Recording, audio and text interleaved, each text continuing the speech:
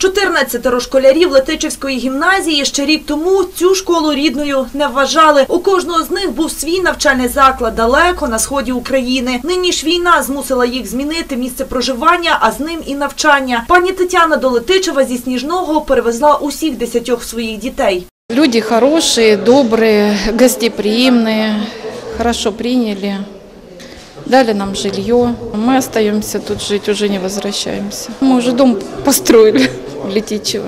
Кожен із маленьких вимушених переселенців вже встиг знайти собі товаришів серед подолян. Нині ж на перший дзвінок до них завітали давні друзі, рятувальники із подарунками, шкільним приладдям. Цей новий навчальний рік почнуть в цій школі також 14 учнів, які прибули із окупованих територій України. Тому головним управлінням спільно з товариством Червоного Христа приготували невеликі подарунки для цих дітей та хотіли б сьогодні їх передати керівництву школи.